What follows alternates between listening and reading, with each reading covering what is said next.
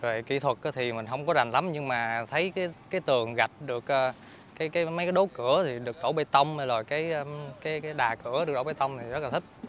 Một cái nữa là công trình khi anh em mà thi công xong thì ờ, làm vệ sinh rồi sạch sẽ.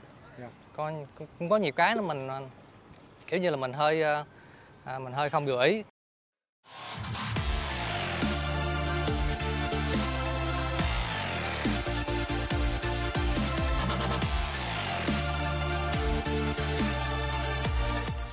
Chào các bạn, mình tên là Nguyễn Đức Tú thì mình đang đứng với à, An Chí, chủ nhà. Bởi vì thứ nhất là An Chí đã chọn công ty của mình, cũng nhìn trên mạng YouTube. Đó và An Chí cũng rất là thích cái cách chia sẻ của mình. Nên là hôm nay thì mình cũng muốn là An Chí đang đứng cạnh bên mình thì anh Chí cho mình một cái cảm nhận là công trình của mình đang làm tới cái lầu 2 này thì trong quá trình làm thì anh Chí cảm thấy nó như thế nào thì tới cái giây phút này thì nhờ anh Chí cho em một cái cảm nhận đó. qua một thời gian rất là dài đắn đo ờ, chọn nhà thầu Dạ.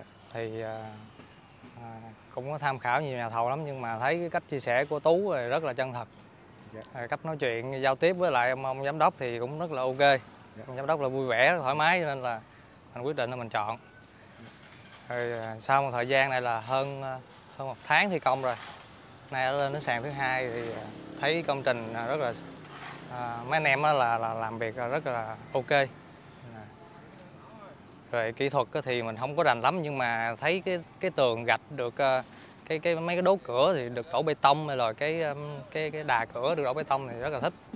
Một cái nữa là công trình khi anh em mà thi công xong thì ờ, làm vệ sinh rồi sạch sẽ.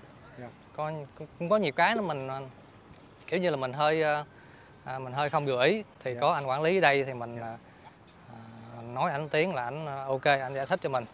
Rồi à, anh quản lý mà chưa giải quyết chưa giải quyết được thì à, còn anh giám sát nữa. Dạ. còn anh giám sát rồi anh giám sát anh anh cũng giải thích cặn kẽ cho mình.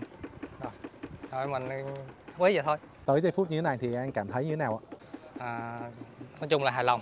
Đây là cái cảm xúc của anh Chí thì à, còn nhiều cái công đoạn về sau nữa thì à, tin là càng ngày càng làm thì anh chị sẽ càng tin tưởng công ty hơn.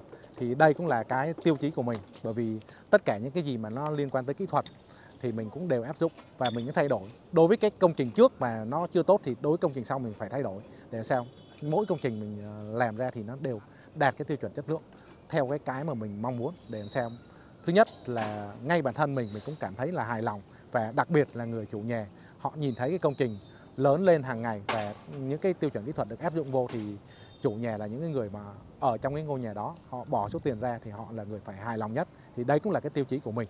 Đó thì rất là cảm ơn anh Chí nhé Dạ. cảm ơn tú. Rồi em chào anh Chí. Rồi, dạ. rồi chào các bạn